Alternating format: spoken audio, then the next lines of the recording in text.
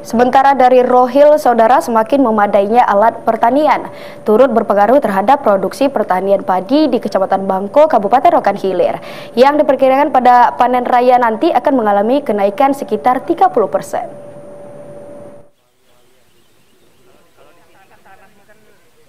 Penanaman padi yang dilakukan oleh para petani di kepenghuluan Bagan Punak Pesisir, Kecamatan Bangko, Kabupaten Rokan Hilir pada bulan 12 tahun 2022 lalu kini membuahkan hasil. Pasalnya, dalam waktu dekat ini, para petani akan melakukan panen raya padi. Terlihat bentangan luas lahan padi yang menguning hasil penanaman petani selama lebih dari dua bulan. Saat ini luas lahan pertanian di kepenghuluan Bagan Punak pesisir mencapai 200 hektar yang dikelola oleh sejumlah kelompok tani. Ketua kelompok tani hidup subur Atan mengungkapkan hasil produksi pertanian pada masa panen kali ini diperkirakan meningkat hingga 30 persen. Dalam satu hektar, para petani mampu menghasilkan 8 ton gabah padi. Meningkatnya hasil produksi padi tidak terlepas dari peran serta pemerintah daerah Kabupaten Rokan Hilir yang telah membantu alat mesin pertanian berupa hand tractor dan combine. Selain meningkatkan hasil pertanian, hadirnya bantuan Alsintan tersebut mampu mempermudah para petani dalam mengelola lahan pertanian. Itu banyak banget.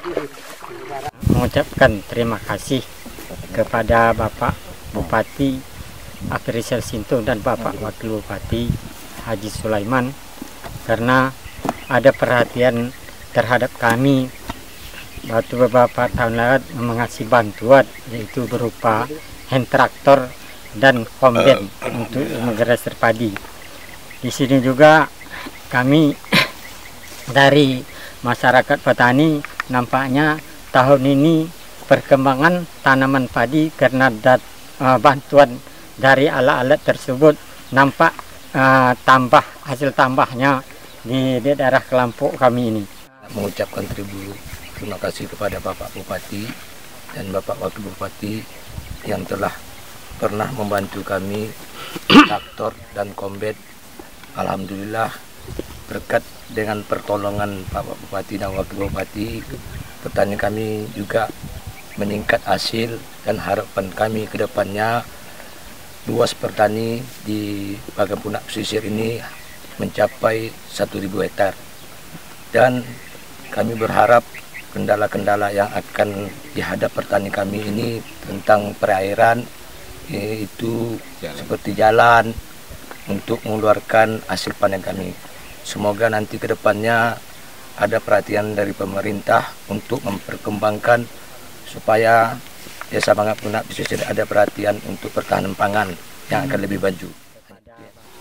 Hasil dari kan sudah kita dengar bersama bahwa hasil eh, dari uh, panen uh, mungkin meningkat sekitar 30% ya uh, Bapak kurang. Ketua. Ya, lebih kurang artinya di sini kan uh, sudah sangat terbantu. Ya tinggal itu tadi uh, sarana prasarana jalan mungkin perlu peningkatan, kemudian alat uh, produksi uh, mungkin yang alat produksi modern uh, alat pertanian. Kemudian bantuan bibit juga diharapkan mungkin yang sesuai dengan dengan klasifikasi tanahnya. Bantuan pupuk. Seiring meningkatnya hasil pertanian padi, para petani juga berharap dukungan pemerintah agar membangun akses jalan untuk mempermudah dalam mendistribusikan hasil pertanian. Selain itu, petani juga meminta agar irigasi lahan pertanian dapat segera dibangun. Dari Kabupaten Rokan Hilir, Yadi, TVRI Riau melaporkan.